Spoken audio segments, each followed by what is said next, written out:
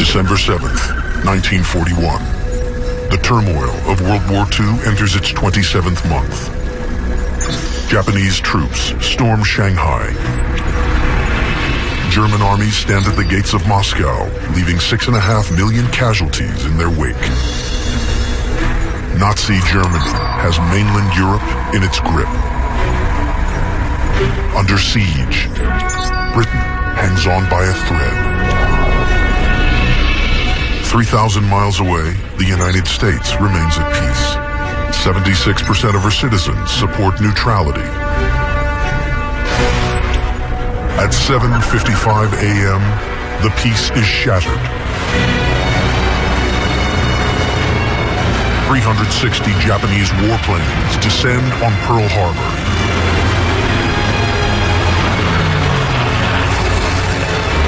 World War II has come to America.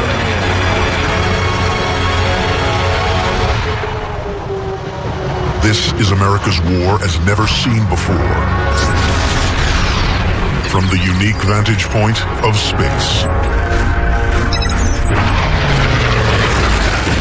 Witness the key battles unfold and the military strategies behind them in stunning detail. Revealed are the political alliances, the global battle for resources, and the astounding awakening of American military and manufacturing might that will determine the outcome of the greatest conflict ever fought.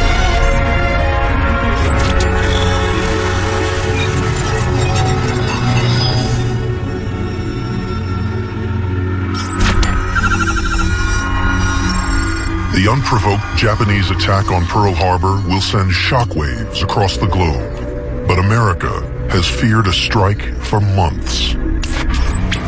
Since 1931, Japan's imperial ambitions have grown bolder and bolder. First, Manchuria is invaded, then China itself. When France falls to Nazi Germany in 1940, Japan seizes control of French Indochina the U.S. response is rapid. Japan's financial assets are frozen and an oil embargo is imposed. The message is clear. Withdraw from Indochina or be economically crushed.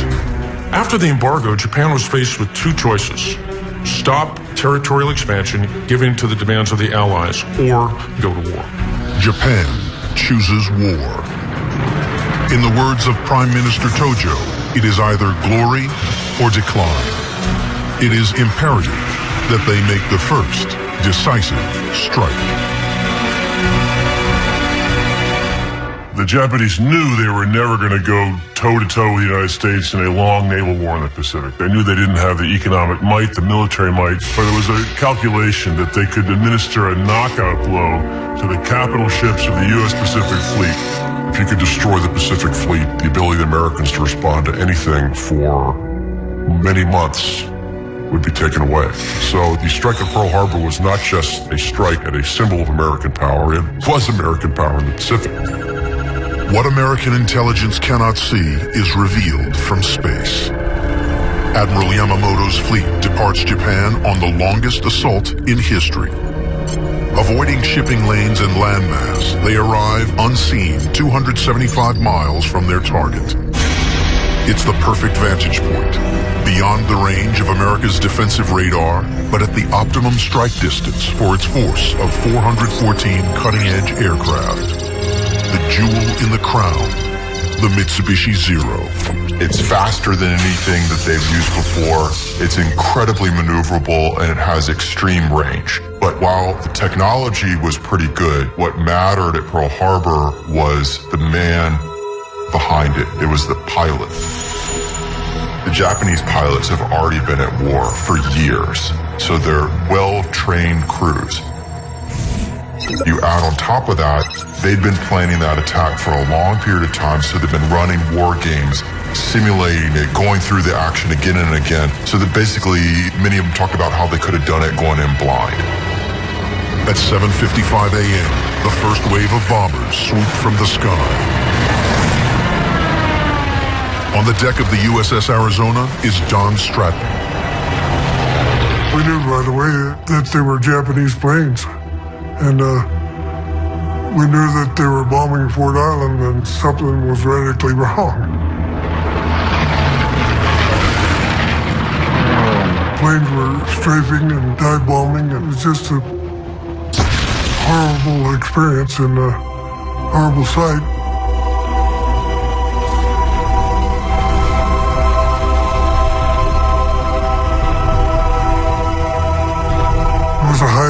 Bomber, dropped like a 2,000 pound bomb. I mean, it just devastated everything in its path. And the concussion and the smoke and the fire was horrendous. It just was like you'd lost your home. Of eight battleships at anchor, the Arizona, Oklahoma, West Virginia, and California are sunk. The rest severely damaged. In 68 minutes, Japan has crippled the heart of America's Pacific Fleet. From the Japanese perspective, the attack on Pearl Harbor succeeded beyond the most optimistic expectations. When you consider the losses that the Japanese suffered in this attack, it was essentially nothing. The Japanese lose 64 men, to 3,649 U.S. casualties. A human damage ratio of 57 to 1. But Japan's margin of victory hides two major flaws in the attack. The Japanese failed to systematically attack the oil fields, the oil storage tanks at Pearl Harbor.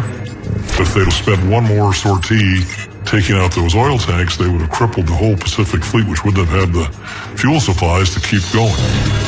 More significant are the ships the Japanese failed to target. The American aircraft carriers were absent from Pearl Harbor at the time of the Japanese attack.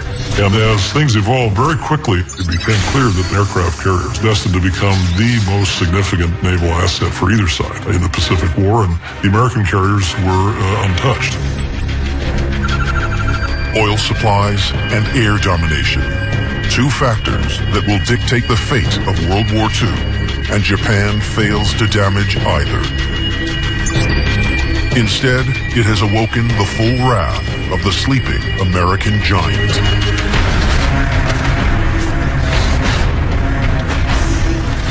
Pearl Harbor infuriated the American people and also infuriated the American military. Massive casualties, destruction of most of the Pacific Fleet. If you wanted to do one thing to unite a country that before this had been rather divided about what to do about the war, Pearl Harbor was it. This was like a lightning rod throughout the American population. No longer was President Roosevelt limited in his options. He had a United States population that was angry and unified and desired revenge against Japan. Her era of isolationism is over. America is at war and begins its rise to become the most powerful nation on the planet. Washington calculates victory will cost $300 billion. 4.4 trillion in today's money. Over one and a half times the total U.S. federal budget. The government can raise half through increased taxes. For the rest, it must turn to the public. To raise $300 billion was then viewed as an insurmountable challenge because basically we had to get half the population in the United States to buy bonds. And what we were saying is we're in World War II, we're in this to win, it's a fight of good versus evil, and you, on an individual level, are going to make a difference. To guarantee success, the ad men of New York recruit America's most potent propaganda asset. We had the Hollywood machine. America had mass marketed movies. They knew the power of Hollywood. They knew the power of celebrities. Over 300 movie icons joined the Stars Over America campaign, crisscrossing the nation. Chicago, two huge celebrity rallies sell over $15 million in bonds. New York, a three-way baseball game generates $56 million. By the end of the war, bonds campaigns raise $187.5 billion to get everybody aligned behind one goal and make the transaction is, is huge. America and its beleaguered allies are going to need every cent. Four days after Pearl Harbor, Nazi Germany declares war on the United States. She now faces two vast and battle-hardened powers on two fronts. When America entered the war, it looked as if the military aggressors were going to win. Seen from space, America's peril is clear. Her fleet is in disarray, and her Pacific assets at the mercy of a rampant Japan. On the other side of the planet, her strongest military ally, Great Britain, is buckling under siege from Nazi Germany. America is at the epicenter of the greatest conflict in history. Roosevelt must make the biggest call of any U.S. presidency. Which enemy to engage first? Franklin Delano Roosevelt decided that Germany was the one that could take down our closest friends around the world, and they had to make sure that Britain survived. Keeping Britain afloat was essential to the long-term prospects of victory. It stood as a large aircraft carrier that would enable an invasion onto the continent. If Britain fell under Nazi domination, the challenge would be almost insurmountable. For Roosevelt, the future of Great Britain is the future of the war. But after 17 months of fighting alone, its survival rests on a knife edge. Isolated, Britain's only hope is to keep her supply routes open. A fragile lifeline German Admiral Dönitz seeks to destroy. Britain depended on the import of 5 million tons of stuff every month. German Admiral Dönitz argued very persuasively, that if we can subtract a million tons a month, we will bring Britain to its knees. Dönitz's lethal weapon is the U-boat. Capable of traveling thousands of miles submerged and armed with a deadly cocktail of deck guns, mines, and torpedoes. It is the perfect weapon to starve Britain into submission. When they attack, they're sending over 9,000 tons of supplies to the bottom of the ocean.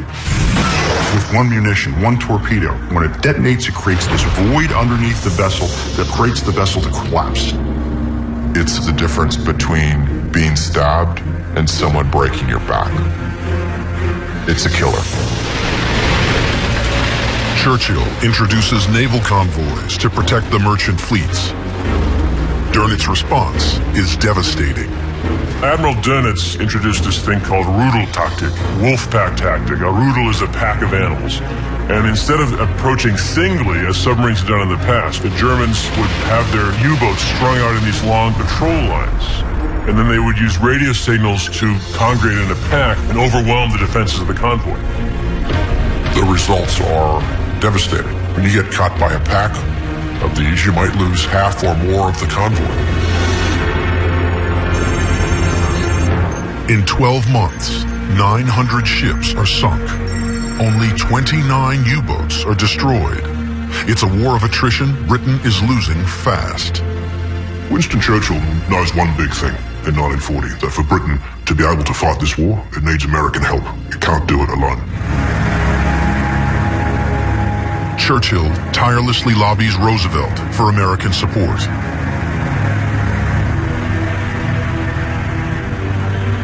Though officially neutral, Roosevelt cuts a deal.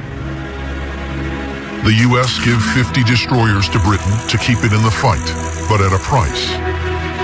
In return, Britain hands over eight of its overseas bases to America and dismantles its preferential trading system with its colonies. It was a very mixed deal for Britain because on the one hand it helps Britain fight the war. They couldn't have done it without American support materially. On the other hand, it accelerates the collapse of the British Empire, makes the empire more and more unaffordable. Winston Churchill, that's a very painful deal, but one that probably has to be made. December 1941. America enters the war. Its first act of aggression is to join Britain in the Battle of the Atlantic, a strategy that meets with disaster. When America enters the war, the Battle of the Atlantic actually takes a turn. Worse for the Allies. The amount of Allied shipping that sunk goes up by these astronomical amounts. By mid-1942, 2,703 Allied ships are sunk, a U-boat kill ratio of 36 to 1. it's an unsustainable rate of loss. Even with America fighting alongside, the liberty of Britain and the freedom of Europe hang by a thread.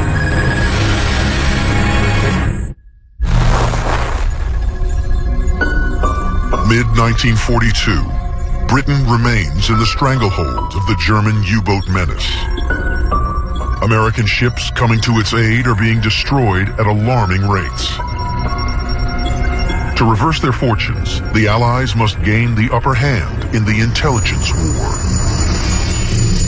The most critical factor in the Battle of the Atlantic was the exchange of information between the Americans and the British. It, it maximized both the technological and intellectual capabilities of both sides. The precedent for this vital collaboration is the Tizard mission, 15 months before the Pearl Harbor attack. With Nazi invasion seemingly inevitable, Henry Tizard, head of the British Aeronautical Committee, persuades Churchill to gift America every scientific innovation Britain holds in exchange for access to U.S. production lines. The blueprints are packed into a single trunk. Embarking from Britain, it reaches Washington, D.C. in September 1940. That box was described by one American official as the most important cargo that ever reached its shores. The trunk contains the memorandum on the feasibility of the atomic bomb, designs for jet engines, rockets, superchargers, gyroscopic gun sights, submarine detection devices, self-sealing fuel tanks, plastic explosives, and perhaps the most important invention of World War II. A working magnetron number 12 an advancement in radar technology a thousand times more effective than the best American counterpart. This was revolutionary. You can put it into an aircraft, you can put it on a ship, then you can take that technology and take it anywhere on the battle space. American assembly lines begin mass producing the device that will change the course of the war. Its first challenge, to close the deadly mid-Atlantic gap. From space, the boneyard of Allied shipping is startlingly revealed. You can fly missions from the United States, you can fly missions from Britain, but you can't quite close everything. and You've got the Mid-Atlantic Gap in the middle. The U-boats realize that and concentrate in that area. By April 1943, 3,450 Allied ships have been lost.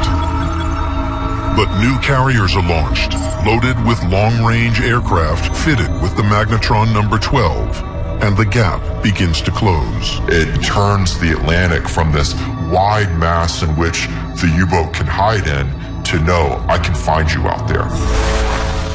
As British code breakers crack the German Enigma code, the final piece of the Allied resurgence falls into place and the tactical and technological advantage is exploited in the convoy battle known as ONS-5. Among all the convoy battles, one of the most important was ONS-5 in April 43, and it's important really because it, it demonstrated clearly, I think, how far the Allies had gone. 42 ships of the slow-bound ONS-5 convoy leave Liverpool for Canada. For Dönitz, it is a perfect target. Dönitz is feeling this great sense of urgency, like he needs to sink more and more tons of shipping, and he actually presses his luck in this battle. The first wave of U-boats sink 13 Allied ships. But as thick fog falls, the advantage switches. Armed with the German codes and advanced radar, the Allies strike back with impunity. Dönitz fights longer than he should, brings in more U-boats than he should, which are then in fact chewed up by the convoy. After the battle, Dönitz says Battle Atlantic is over. Because he sees how expert the British and Americans have become at detecting U-boats, chasing them down and killing them. With ONS-5, the Battle of the Atlantic is all but won. and the astonishing transformation of American industry can start to dictate the fortunes of war. With the money and the might to outproduce the Axis, America embarks on an unprecedented industrial and social revolution. You had a war industrial board, and they looked around the United States and said, this particular place is going to be where we're going to build tanks, we're going to build planes here. And so the population went there. It's as if in World War II somebody had picked up the North American continent, at the eastern seaboard, and raised it and tipped it, and everything people, money, machines, everything just slid westward across the continent. The population of California swells by 53%, Oregon by 40%, and Washington by 37. 19 million women become the core of the American labor force, working in war factories, transportation, and agriculture across the nation. Manufacturers of all sizes become a critical part of the war effort typewriter manufacturers, canned goods manufacturers, they're all converted. They're all mobilized, if you will, to support the war effort. Car factories are turned into making bombers, and refrigerator factories are turned into making armored cars. Not for nothing, it's called the production miracle.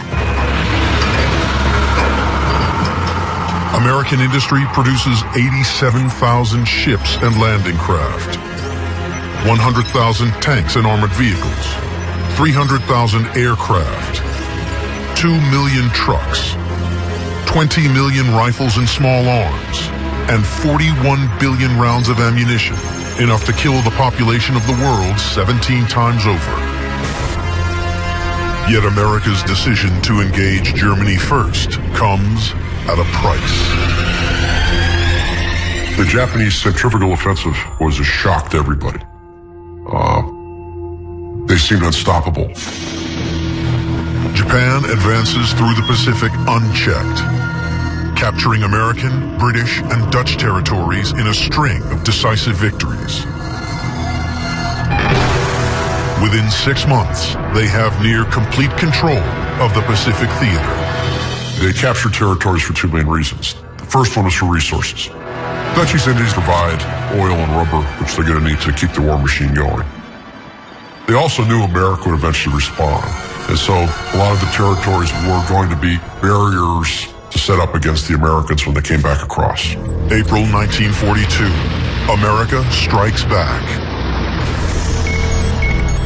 Launching from the U.S. Hornet, 16 B-25s kickstart the next phase of war by bombing Tokyo. For the Americans, the raid is a chance to strike back, even though it didn't really do very much material damage. It had a major impact on Japanese leadership. The military was embarrassed they'd allowed their, the emperor to be threatened like that. The Japanese respond, setting their sights on America's most westerly Pacific base. From space, their strategy is clear. Seizing the island of Midway will extend their defensive perimeter deep into American waters. And their plan is we're going to surprise the Americans, we're going to seize Midway, and then they're going to be forced to come out and fight us on our terms. The problem for the Japanese is the Americans already know they're coming. The story of the American code breakers is one of these lesser known, but perhaps one of the most important parts of the story of why America wins in the Pacific. From June 1939, the U.S. Navy Combat Intelligence Unit, under the command of Joseph Rochefort, has been attempting to decipher JN-25, the Japanese naval code. Using punch card technology and mathematical analysis, they work around the clock. In the lead up to Midway, the decisive breakthrough is made. They break the code. They knew the Japanese were coming. They knew where they were coming to Midway. They even knew when they were coming. U.S. intelligence finally grasps the full scale of the Japanese attack. The situation is highly precarious. With a weakened fleet and up against a battle-hardened enemy force, Midway is the moment of truth. The only way the Midway battle would work for America was to have their carriers in the right place and be able to strike the Japanese at just the right time. The Americans have got to get in the first major shot. At 4 a.m., Japanese bombing of Midway begins. What Admiral Nagumo can't see is 275 miles away, safely outside the range of Japanese radar. Four U.S. carriers are poised for a counterattack. Only at 7.40 a.m. does a Japanese reconnaissance plane spot the U.S. fleet.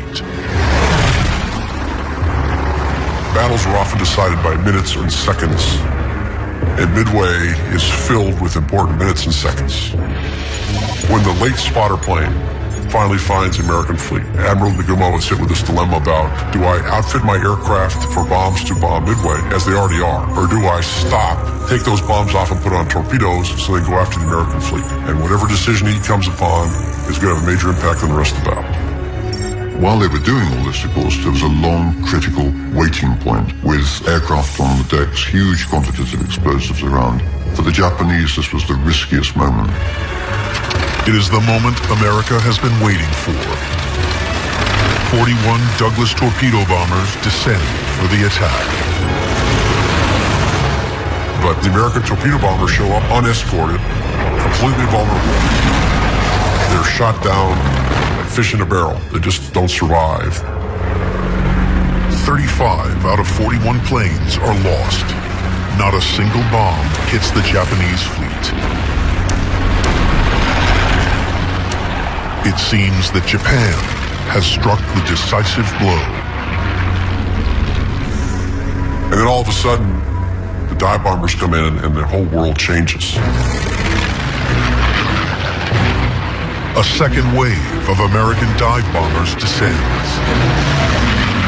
There's the Japanese fleet with no air cover and the decks covered with airplanes and torpedoes and bombs.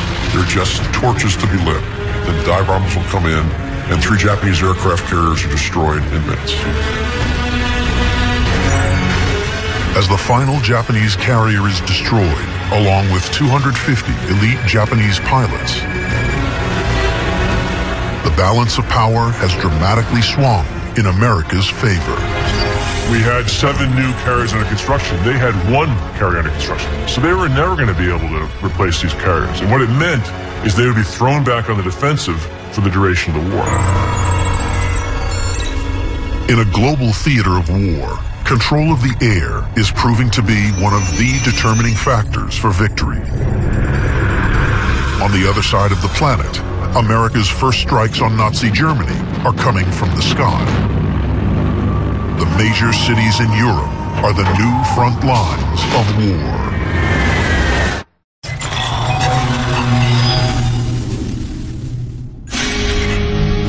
Months on from Pearl Harbor, and the battlefronts of World War II are at a tipping point. America and her allies have stalled the momentum of German aggression in the Battle of the Atlantic and halted Japanese territorial expansion in the decisive victory at Midway. And in June 1942, the first American bombers arrive in Great Britain.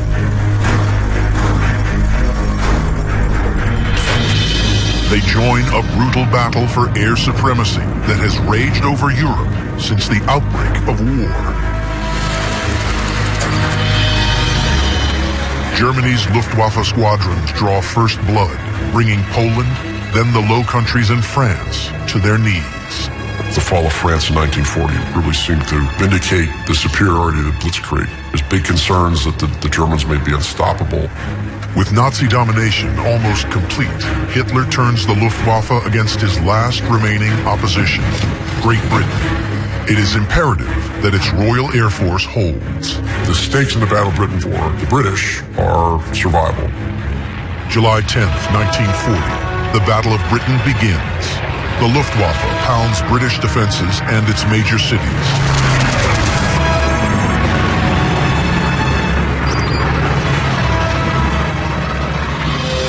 The RAF adapts very quickly and begins to shoot down more German bombers and fighters than the Germans can replace. 1,900 German aircraft are destroyed in 113 days. It is an unsustainable rate of attrition. So Hitler's forced to cancel the Battle of Britain and begin massing forces for an invasion of the Soviet Union. The Battle of Britain is Hitler's first major defeat of World War II. Air power is the new orthodoxy of modern warfare. Roosevelt orders vast squadrons of aircraft to be manufactured. At Ford's Willow Run plant in Michigan, an astounding 8,500 bombers are produced. Over 127,000 bombers are made. 13,600 are transported to British airfield. The assault on Germany can now enter a new phase of intensity. The arrival of the 8th Air Force in Britain had a number of impacts. Number one, it guaranteed that the Germans weren't going to be able to launch another major attack against Britain the way they had in the Battle of Britain. There were just too many Allied airplanes there. It also was a boost to British morale that the Americans were finally coming in mass. But the American airmen are entering a new kind of warfare, where sheer weight of numbers is no guarantee of success the amount of weapons that are being thrown up to stop the bombers is having an enormous toll. The survivability rate is going 11 to 1 to the infantry. It's actually safer to be an infantryman on the ground in Europe in a foxhole than it is to being in this uh, advanced machine flying high above. After losing 1,135 bombers, the RAF switches to nighttime raids. But in the dark, only 1.5% of all bombs fall within three miles of the target. The Americans just saw that as too inefficient. They had to do it in daylight where you could see the target. They thought we've got more heavily defended bombers. We think this will work. American confidence is based on the B-17, the most sophisticated war machine of its time. The B-17 is an amazing aircraft. They call it the Flying Fortress. Well, why? It has 13 50 caliber machine guns arrayed all around it to give it a bubble of fire. You have fire coming out the front, you have fire coming out the flanks, below, above, and in the rear. It was believed that it could fly in broad daylight, unescorted by fighter aircraft, deep into the heart of enemy territory and unleash an amazing amount of ordnance on enemy targets. With unswerving faith in the B-17, the American 8th Air Force plan a dual raid to destroy the heart of German aviation production. The Schweinfurt Regensburg mission was seen as the way to really prove that this precision bombing idea would work. They seem to have picked out the key industry that they could knock out that would cripple the German economy. They had the battle plan they thought that would get them to the target. Two squadrons of B-17s, commanded by Colonel LeMay and Brigadier General Williams, prepare to attack simultaneously, splitting German defenses. Almost immediately, the plan begins to unravel. It's a foggy day in England. LeMay got his guys up. The other bomber division couldn't get up. The decision was made that they couldn't land LeMay's guys. They sent them on. When the Regensburg mission goes in on its own, the bombers were sitting ducks, not only for flak, but for the Germans that were gathering from all over the whole defense zone.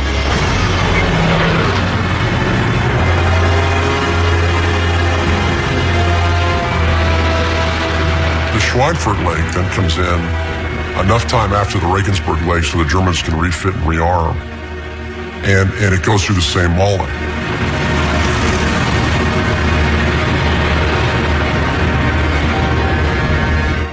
Sixty U.S. bombers are destroyed, double the losses ever suffered in a single raid. The problem for the Allies was we took the marketing of the Flying Fortress seriously. We took the idea that it could protect itself with its own machine guns and not have to worry about escorted seriously and that didn't work. The flaw is startlingly clear from above. The lack of fighter escort protection. The fighters have limited range and can only protect the bombers part way to their targets, leaving them dangerously exposed. Then we get the real game changer. We get the P-51. The P-51 was an amazing fighter on so many different levels. But the real key is it had amazing range. It went with the American bombers all the way in, all the way out. That meant we could take down the German defenses. We could create true air dominance. And that's when you see the Luftwaffe essentially swept from the skies. Once the Luftwaffe is destroyed and we have pretty much free rein over the German skies, we really start to take down the oil industry. Oil, the single most essential commodity of World War II possession of large supplies of oil was the only way to victory. Without oil, mechanized armies could not fight. From space, the battle for the world's oil reserves is revealed. America is self-sufficient. Its oil fields are the cornerstone of Allied military strength. In contrast, Germany's stockpile of 20 million barrels is rapidly running out. One of the weaknesses from the German war effort was they couldn't get access to unlimited quantities of oil. They then decided to use synthetic oil, and synthetic oil was really critical for making up that difference. Synthetic oil, produced from coal and natural gas, is the lifeblood of Hitler's mechanized forces. As Allied air raids cripple Germany's synthetic fuel production, Hitler's best hope is to seize the Caucasus oil fields. Deep inside Russia, the two sides clash in the bloodiest fighting history has ever seen. At stake is the outcome of World War II.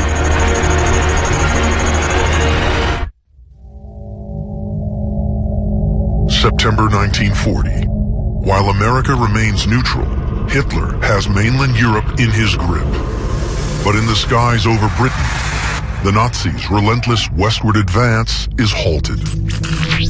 It is a defeat that forces Hitler to turn his attention towards the ultimate goal, the conquest and annihilation of the Soviet Union. The Soviet Union represented the nexus of everything that Hitler hated. He saw it as a bastion of communism and Judaism. And if it were not defeated, ultimately the Soviet Union would destroy Germany and destroy the Aryan race. But there was also just sheer pragmatism here.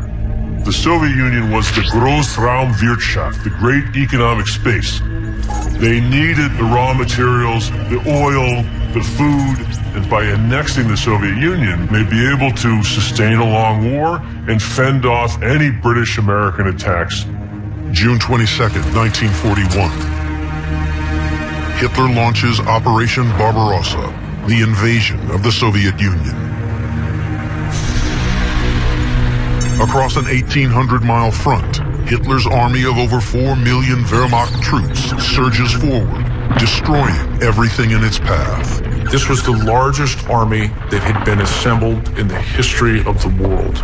And the Germans demonstrated an operational and tactical mastery that the, the Soviets simply could not match. And the barbarity is almost incomprehensible. Following the frontline troops, there were special action squads. Their purpose was to identify and murder political leaders and ultimately Jews in the occupied areas. The slaughter of a million Soviets is the merciless testing ground for the Holocaust. The SS accelerate the genocide of Jews and others seen as undesirable. Over 9 million are slaughtered. This was industrialized mass murder. This is something that, that hadn't even appeared in the Middle Ages. By the winter of 1941, their brutal advance has brought them to the brink of victory. Leningrad is under siege, and German panzer divisions are at the gates of Moscow. Seeking a devastating tactical and ideological blow, Hitler turns his attentions towards Stalingrad. Stalingrad was an important target for Hitler because he knew by taking it he would insult Stalin. He also knew he would force Stalin to try to take it back and he would be able to wear down the Red Army. But also it was an important city because it would permit him to pivot south into the Caucasus and take all these oil producing regions and make Germany self-sufficient in petroleum. For both sides, the stakes for the Battle of Stalingrad are immense. For Hitler, to fail at Stalingrad would be an enormous blow to the Nazi myth. It would be an enormous blow to the war itself. Similarly, Joseph Stalin was unrelenting. He would not tolerate defeat. He would not tolerate pulling back. To surrender or to give ground would be met by the, the utmost sanction.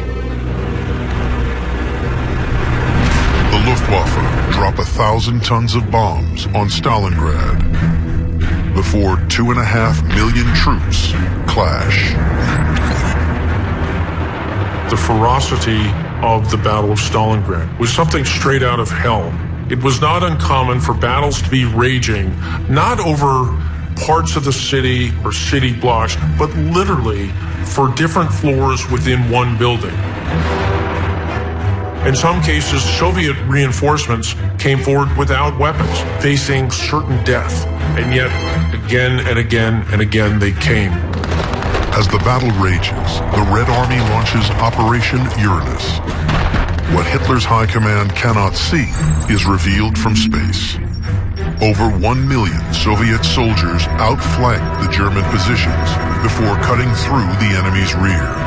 Operation Uranus was a complete shock, and suddenly Stalingrad was encircled. Cut off from supply, the Germans are plunged into the harshest of Russian winters. In subhuman conditions, they begin to disintegrate. It was freezing cold. Food supplies began to decline, guns jammed. It was a nightmare. It's difficult to convey in simple words what that experience was like. After five months under siege, Hitler's once mighty Sixth Army capitulate, the first German field army to do so. Nearly two million have fallen, but for the Soviets, the tide is turning. The boost to Soviet morale can scarcely be overstated. German prisoners were marched through Moscow, and this proved that the Nazi soldiers were not supermen. Instead, they saw German soldiers who quit, who surrendered, who could not match the determination of the Soviet soldier. For Hitler, the defeat is devastating. Instinctively, he strikes back. Adolf Hitler attempted to regain the strategic initiative to close a, a, gap, a bulge, if you will, centered around Kursk. Seen from above, Hitler's objective is clear. Eliminate the bulge, concentrate his forces, and regain the initiative. For the Allies, it is critical that its newest military partner holds. The Eastern Front is vital to the Allies because it absorbs the bulk of Germany's fighting power To put it very brutally, the Soviets do most of the fighting and most of the dying on land. President Roosevelt commits over $11 billion of Lend-Lease supplies to Stalin. Yet traditional trade routes through Europe are blocked. Getting U.S. aid into the Soviet Union is one of the greatest Allied logistical challenges of the war. There were three routes that we could use. One was the North Atlantic route into the northern Arctic ports of Archangel and Murmansk. Stormy seas, iced in, hard to get to. And then there was one across the Pacific to Vladivostok. But everything had to be unloaded in Siberia and then trucked into Russia on the Trans-Siberian Railway, which is slow and time-consuming. And then there was the one around the Cape of Good Hope, up into uh, Iran and into southern Russia that way. The Persian Gulf route is crucial to Russian success, but making it viable is a monumental task. We had to build a supply chain from scratch. There is no infrastructure. The harbors are not there. We have to construct those. Allied engineers built wharfs, jetties, and piers. Simultaneously, 450 miles of roads are constructed and 2,000 miles of railway modernized. With all routes now open, the U.S. pumps 16 million tons of Lend-Lease into Russia. Included are gasoline, ammunition, an entire military telecommunications system, 14 million pairs of boots, and enough food to offer every Soviet soldier one square meal a day for over a year.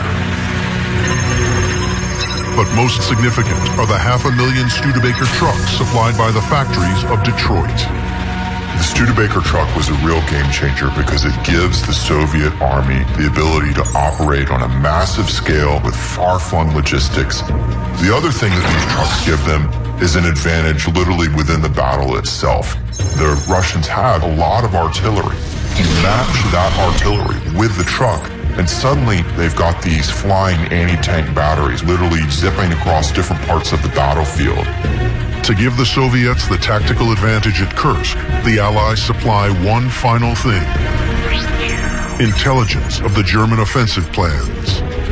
Soviets knew they were coming. And so they create defenses of a scale that really hadn't been seen before in the war. I mean, people talk about the Maginot Line in France. This thing was the Maginot Line put on steroids. From space, the full enormity of the Soviet defenses becomes clear. Three defensive lines contain a vast interconnected web of thousands of anti-tank guns, pre-sighted artillery zones, and over 400,000 mines.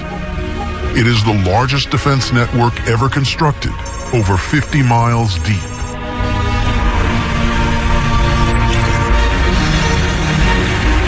July 5th, 1943. Over 2,000 tanks and 2 million troops engage.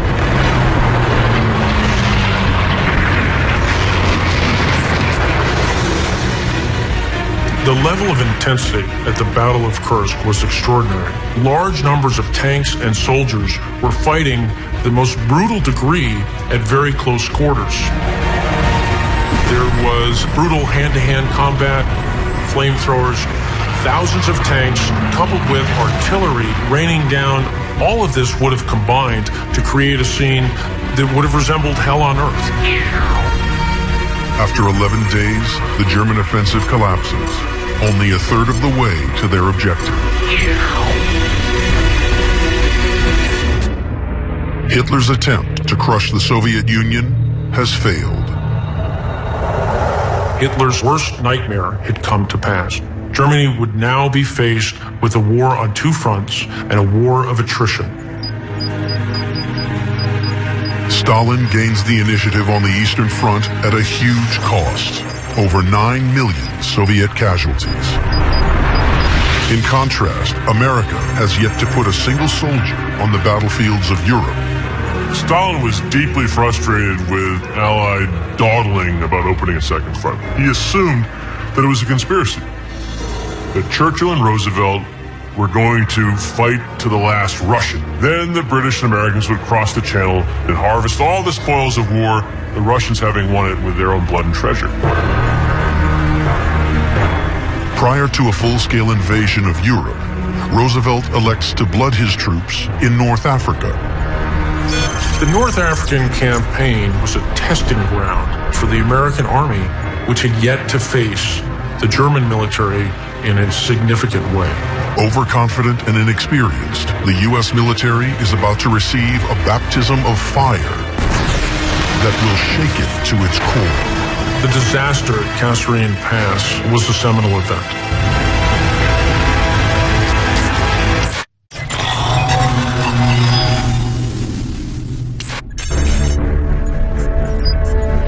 As the American Pacific drive towards Japan accelerates, and as Stalin in the East and the Allied bombing campaign in the West continue to weaken the Third Reich, America prepares to test its troops in North Africa.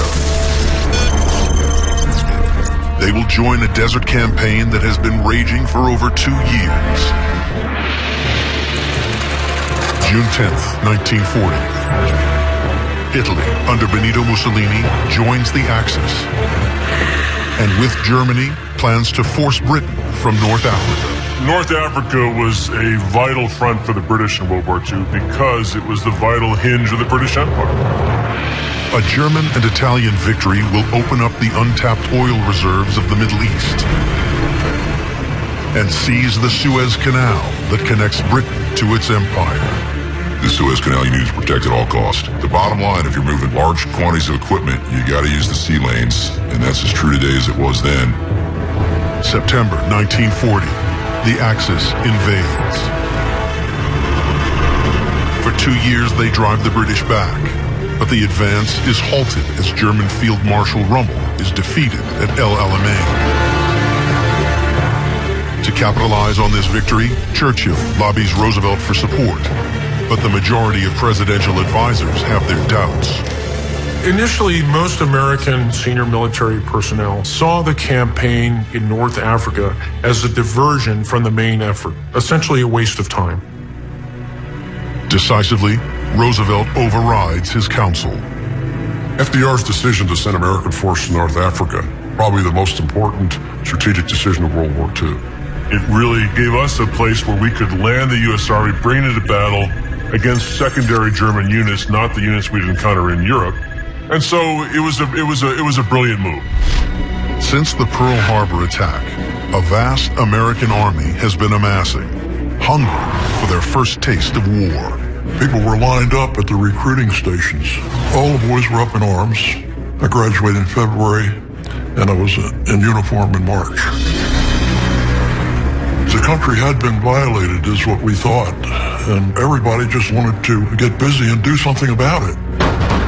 Volunteers and inductees from the draft swell the ranks as America rises to become the largest military power in the world. Before the war, the total strength of the U.S. Army, including its Air Corps, was well below 200,000. There would be over a 40-fold increase in the space of six years. During the war, the armed forces encompassed 16 million men under arms. That's 13% of the entire population.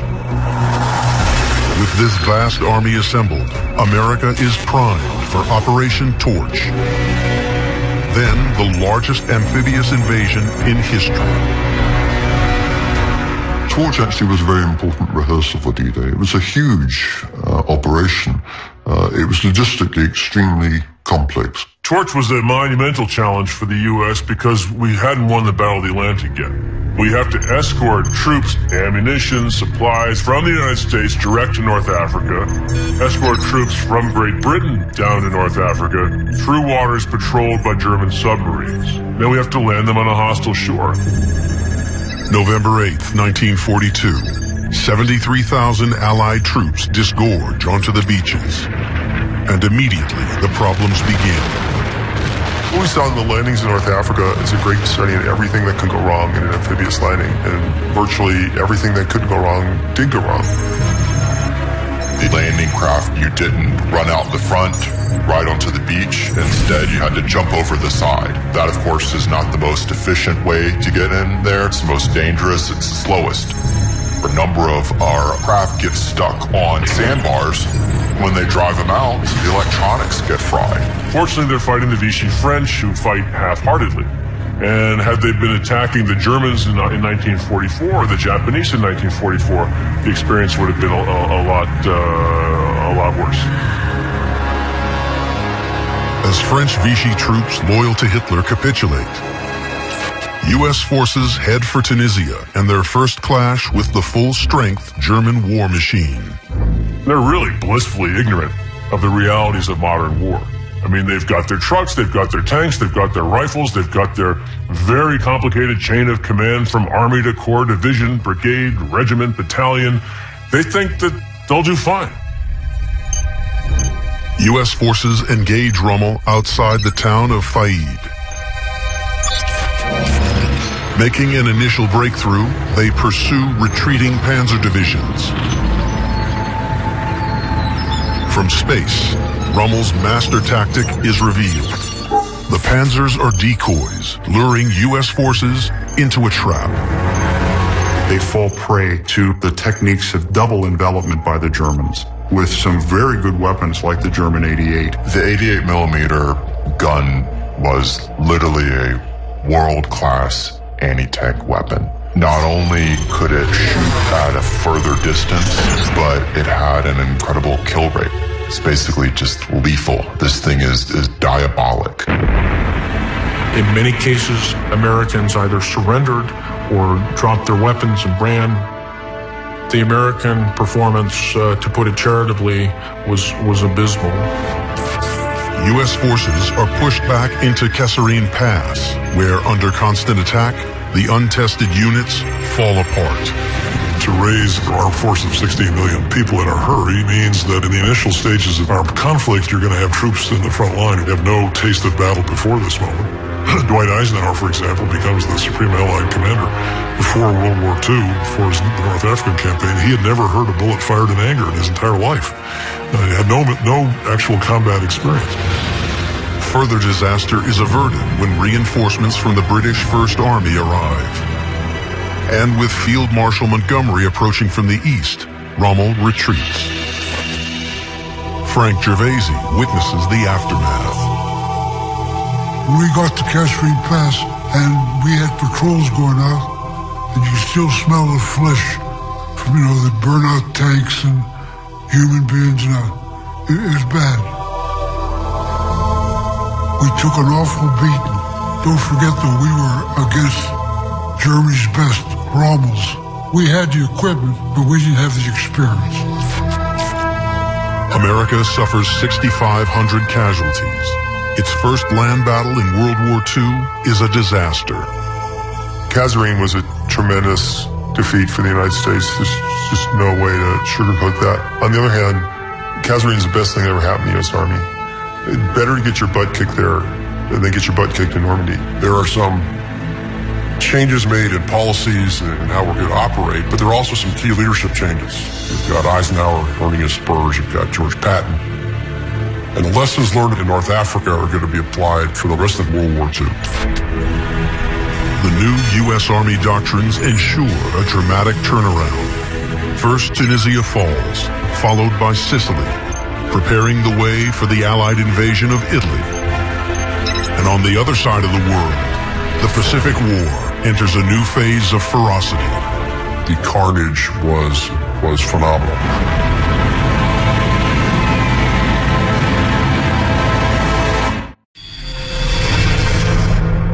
From the ashes of Pearl Harbor, the American war machine is approaching full potential, engaging her enemies on three continents.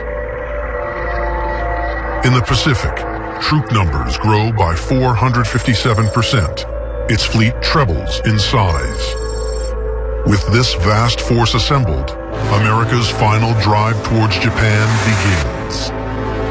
The American strategy is a dual-pronged approach with Admiral Nimitz with the Navy Marines going through the Central Pacific, General MacArthur with most of the Army forces coming through the Southwest Pacific, both approaching Japan from different axes. Admiral Nimitz's flotilla is the largest in history, the perfect weapon to destroy Japan's defensive strongholds. It's this massive fleet of aircraft carriers, destroyers, fast battleships, backed by this long logistics train of supply ships, oilers, hospital ships, you name it. This thing was lethality and industrialization personified. The flotilla targets Saipan, one of the Mariana Islands. Its airfields can become the launch pad for a sustained aerial bombardment of Japan. Emperor Hirohito demands his 32,000 troops stationed there to defend at all costs. For the Japanese, defeat was not an option, retreat was not an option. If it meant losing everything and everyone, they would do it in pursuit of victory. June 1944, 8,000 U.S. Marines hit the beaches under intense Japanese fire.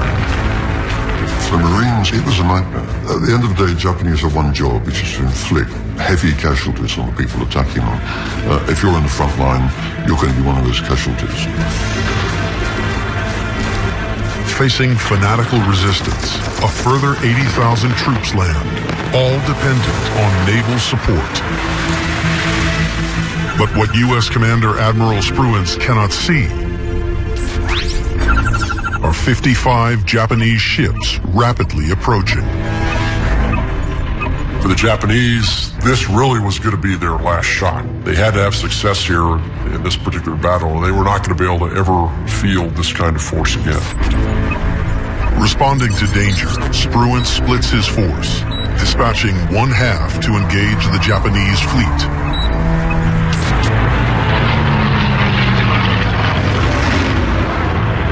As the two forces clash, U.S. technological superiority dominates, most notably 480 newly developed Hellcats. The Hellcat's just an incredible weapon. It's fast. It can take hits and still keep going on. It's well armored. And on top of that, it's now flown by elite pilots. The Japanese lost most of their well-trained pilots in other battles. They couldn't replace them. They didn't have the fuel to train. Their aircraft weren't as good. And that's what really creates the turkey shoot of the Battle of the Philippine Sea. Over the next eight hours, 429 Japanese planes are destroyed compared to 29 American, a kill ratio of 15 to 1. The scale of the slaughter between American pilots and Japanese is significant enough where after the Battle of Marianas, the Japanese aircraft carrier force is no longer a factor in the war in the Pacific.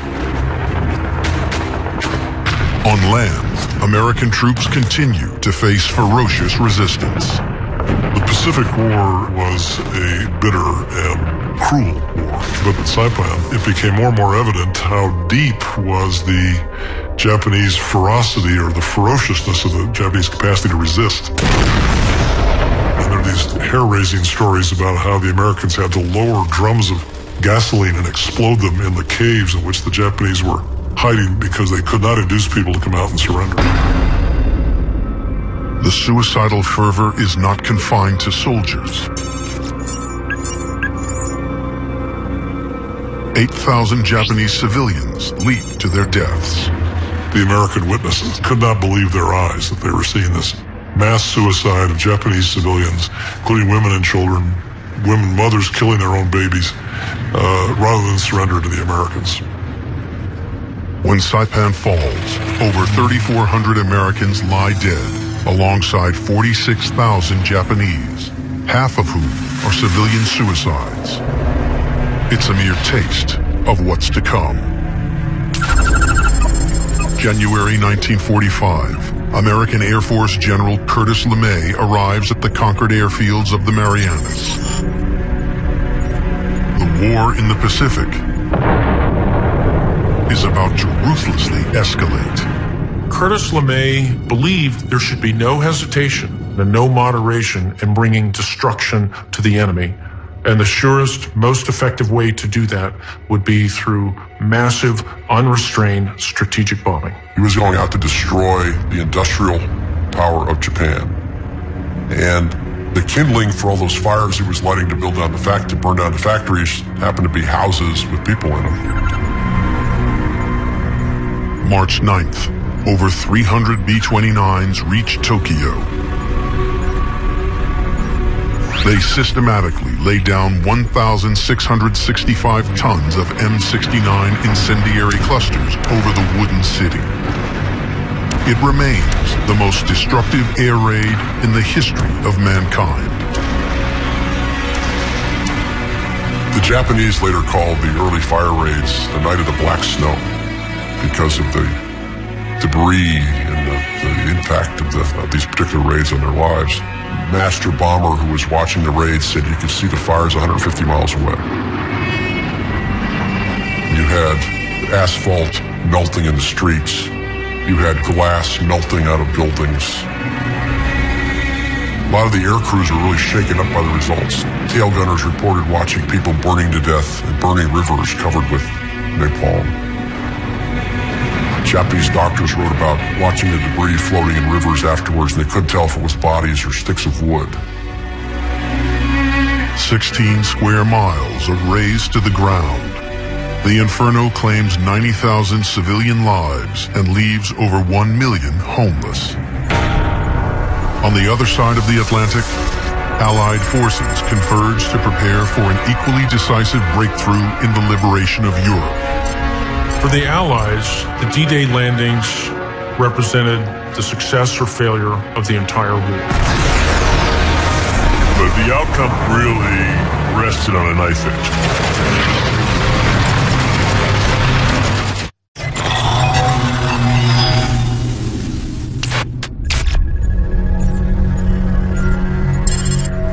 November 1943. Roosevelt, Stalin, and Churchill meet in Tehran to plan Operation Overlord, the invasion of Nazi-occupied Europe. Churchill warns of the challenges that await them. The British had learned firsthand how capable, how effective a fighting force the Wehrmacht was. Britain's experience is chastening. Evacuated from Dunkirk in 1940, driven from Norway and Greece, Yet despite the dangers, the Allies determined to risk everything on a full-scale cross-channel invasion into the teeth of the Nazi defenses. In order for D-Day to succeed, it required four distinct events to happen. First, the Allies needed the momentum of manpower and equipment to make it to the beach and continue to reinforce the beachhead once the landings were secure. Secondly, was air supremacy. The Allies had to prevent the Germans from reinforcing their positions on the beachhead. Also, the Allies needed a major Soviet offensive so that Germany would be sandwiched between two invading armies. And finally, the element of surprise. If the Germans had been aware that the invasion was coming, it would have certainly failed. To win the intelligence war, the Allies launched Operation Fortitude. Operation Fortitude stands to the present day as arguably the greatest deception plan in modern warfare. In an audacious act of misdirection, a decoy army of 11 ghost divisions, figureheaded by General Patton, assembles opposite Calais. They had to really trick the German high command into thinking that Calais, the shortest route across the channel, was the way that the invasion was going to be mounted. It had dummy tanks, dummy airstrips, dummy hangars, and they let German reconnaissance aircraft fly over these areas. Say, oh, here's a huge army. This is clearly where they're going to put their main effort. With fortitude blinding the Axis, the real invasion force secretly assembles. Nine and a half million tons of supplies, 4,000 amphibious vessels, and over one and a half million troops. The man charged with the immense logistical challenge of the landings is British naval mastermind Sir Bertram Ramsay. Sir Bertram Ramsay's plan was meticulous, was complex, it was rehearsed, and it was thorough in every way. The plan is astonishing. Almost 7,000 vessels will be loaded with men and supplies and moved in secret to the assembly points. At a predetermined time, they will navigate through narrow channels cleared of mines towards enemy shores through unpredictable seas.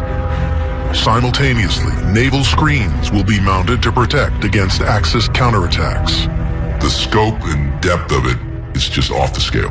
Me personally, I've been involved in planning for uh, things like uh, Desert Storm, uh, Operation Iraqi Freedom, the early pieces of it, and even that with with big computers and lots of smart guys working it, it was daunting then. Getting the Allied forces to the beachheads is just the start. Awaiting them is Hitler's Atlantic Wall, a defensive network 1,600 miles long and considered by the Fuhrer as unbreachable. It's this combination of everything from millions of mines, specific defenses designed to rip the bottom of a landing craft. Then you get to machine gun bunkers with interlocking fires, six inch cannons, you name it. It's just a nasty, nasty piece of work. You know, there were trained troops have been there for years, sighting every avenue of approach off the beach. You know there could be massive counterattacks. The Germans are masters at that, so there's just so much uncertainty.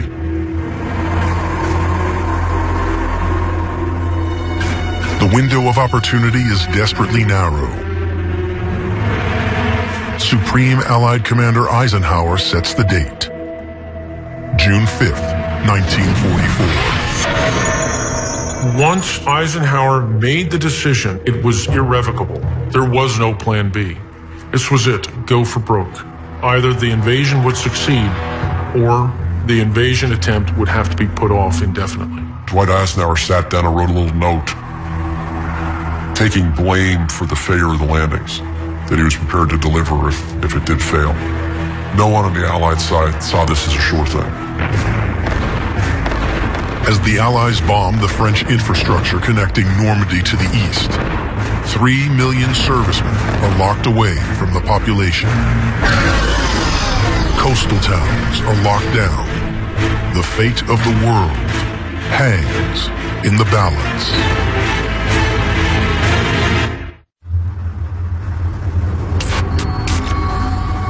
After an agonizing 24-hour delay due to bad weather, Overlord, the most important Allied operation of World War II, is set in motion. Before the Armada embarks for Normandy, the Allies launch one final masterclass of deception. To convince the Germans that Calais is the invasion site, British bombers circle at low altitude, dropping tons of metallic chaff into the air.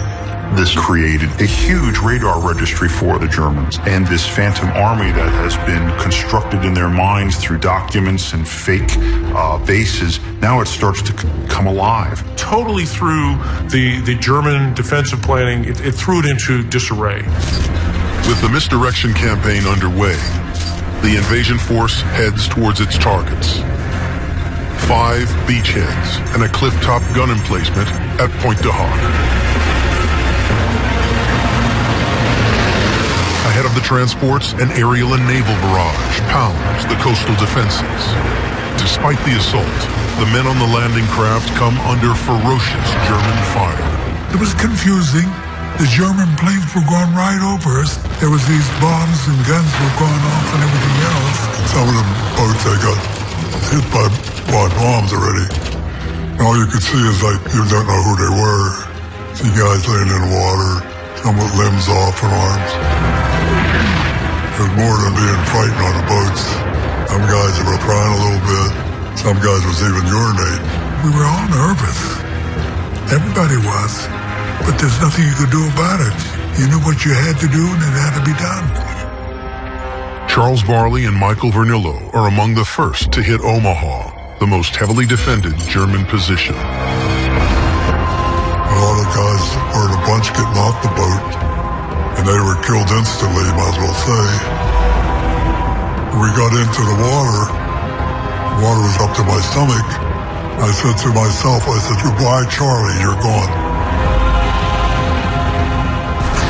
And that, it was really a terrible feeling in the water. You see the bodies laying around and you couldn't identify them. It was really, really nasty really bloody. Those fortunate enough to make it off the boats, the scene they would have confronted is almost unimaginable. They would have been suffering still from seasickness. They would have heard the whirring of bullets above their heads. They would have seen in front of them dead and dying American soldiers. But it was more than chaos. It was deadly chaos. As the Allies continue to land against merciless German fire, the casualty rate soars. But after 15 hours of fighting, all beachheads are taken, with Pointe du Hoc falling the following day. The Allies suffer 10,000 casualties, but it is blood shed achieving the almost impossible. They have a foothold in Nazi-occupied Europe. For Hitler, this was the nightmare come to pass. We basically, you know, signed the death certificate of Nazi Germany on June 6, 1944. After weeks and weeks of being bottled up in the Normandy beachhead, the breakout that occurred exceeded expectations. The success is down to the network of supply lines chasing the frontline soldiers. Connecting France with the war depot of Britain are artificial Mulberry harbors, landing two and a half million men, four million tons of supplies, and 500,000 vehicles within the first 10 months. Fueling the offensive is Operation Pluto, 70 miles of undersea pipeline pumping up to a million gallons of fuel per day into France. Those tons and those millions of gallons of fuel were on a scale that probably won't be replicated in the future. So what they accomplished uh, might be unique in, in, in human history, really. From space, the speed of advance is astounding.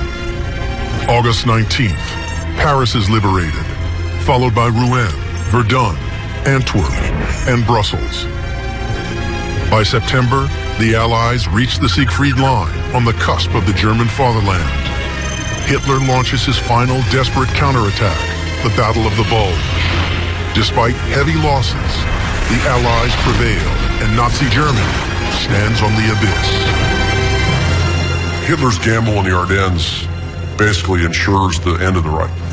This was his last operational force he had where he could try to influence the pace of either front, east or west. Once he threw that force away, the American-Soviet conquering of the Reich in the next year was inevitable.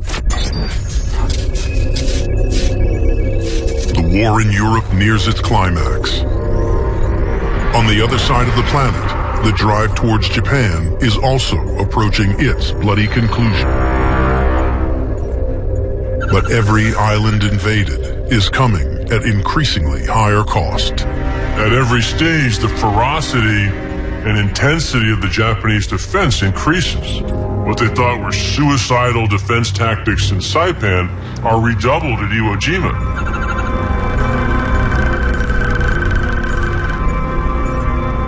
February 19, 1945. 60,000 U.S. Marines stormed the island of Iwo Jima, where a battle of unrivaled brutality begins.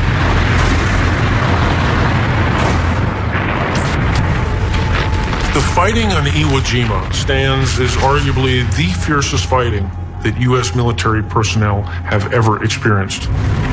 There was no amount of punishment could be inflicted on the Japanese that would cause them to lose their will. Essentially, they've decided that they are going to die there. When you have that kind of suicidal fervor, it means the sort of tactics that you might have used previously don't work.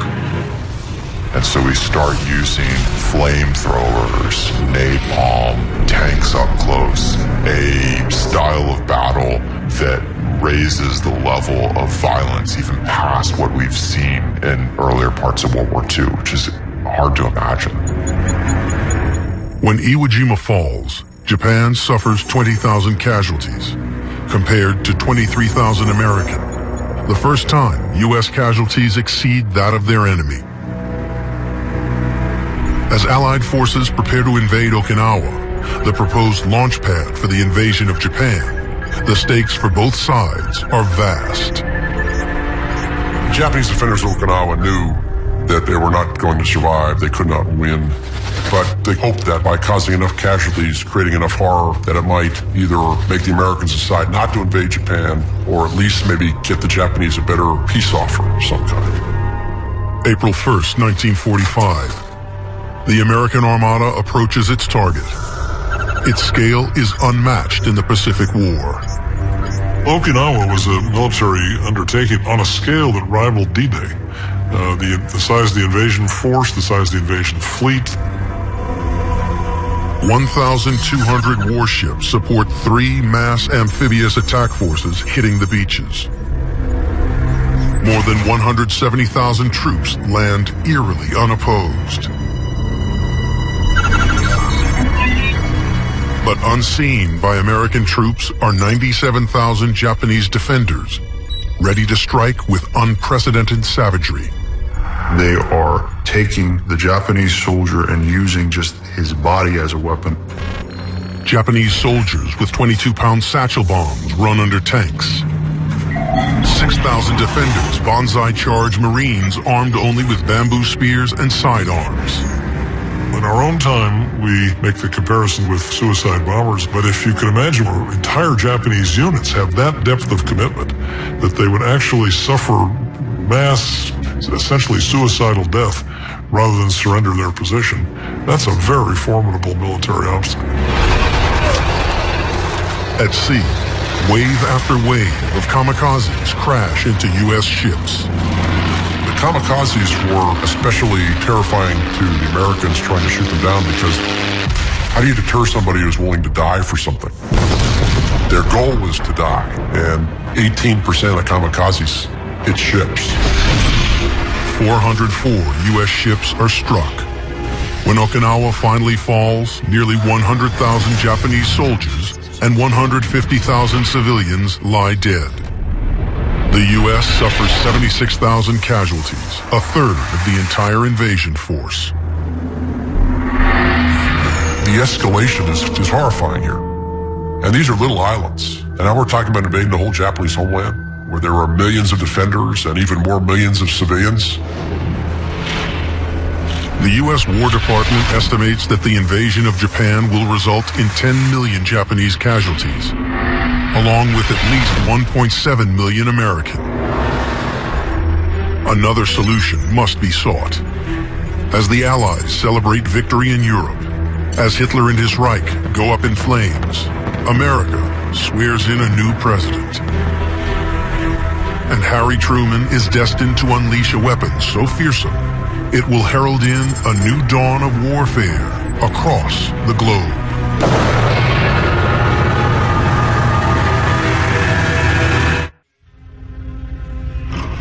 War has ravaged the world for nearly six years. Germany and Italy are defeated. Only Japan fights on in defiance of the Allies. But a new weapon is about to make World War II reach its climax. December 1938. German scientists split the atom, releasing 200 million volts of electricity. After Albert Einstein warns U.S. President Roosevelt that Hitler plans an atomic program, the race for the bomb is on. America, in collaboration with Britain and Canada, launches the Manhattan Project.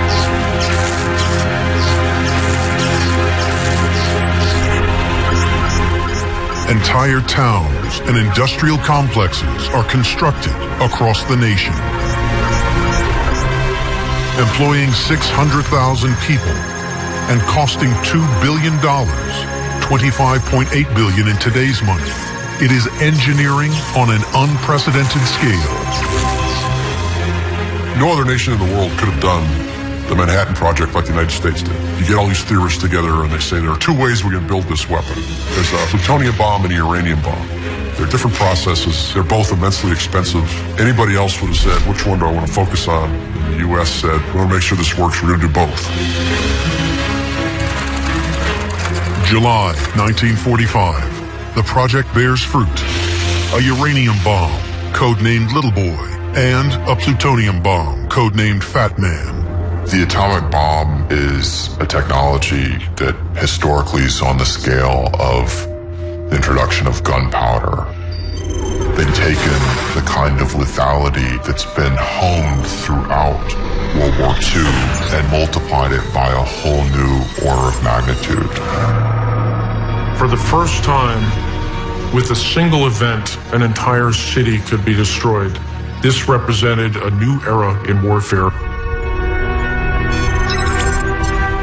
Returning from the Potsdam Conference, U.S. President Harry S. Truman must decide whether to unleash the atomic bomb on Japan.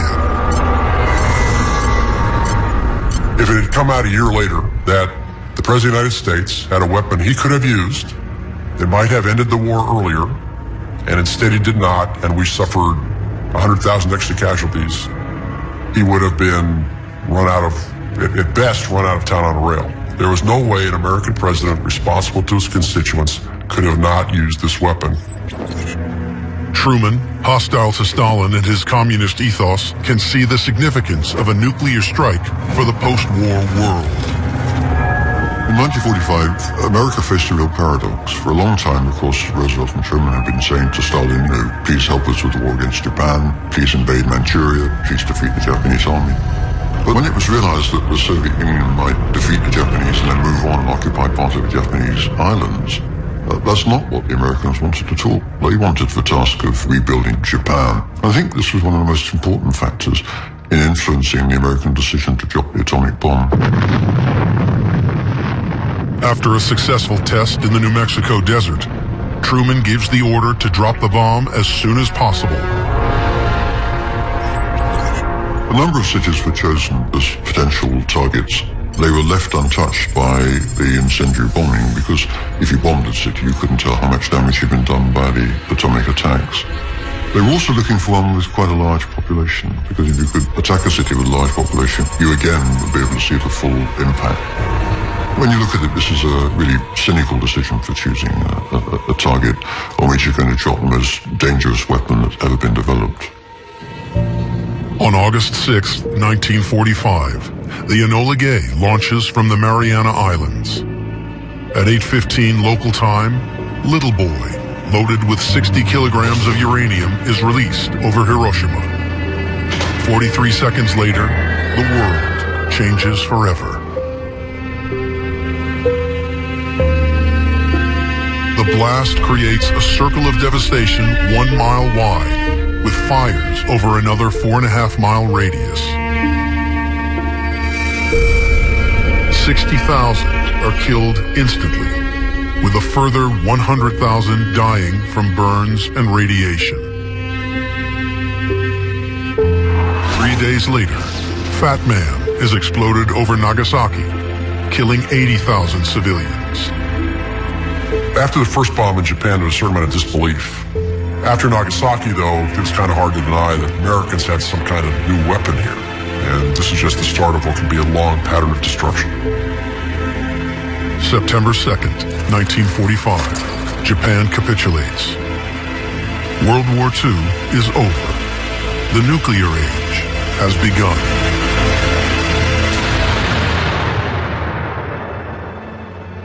A lot of people think that the moral ethical line of destruction in World War II is crossed the atomic bomb. I disagree. I think that if there's any moral lines left, they're all crossed with the fire raids against Japanese cities.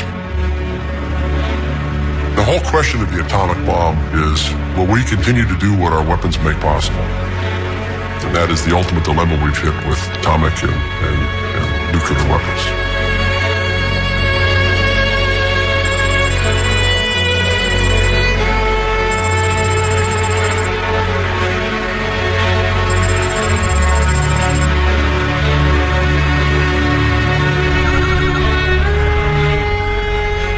You ask who won World War II. If by that you mean what society, what nation contributed the most blood and treasure to the eventual victory, it's not the United States, it's the Soviet Union.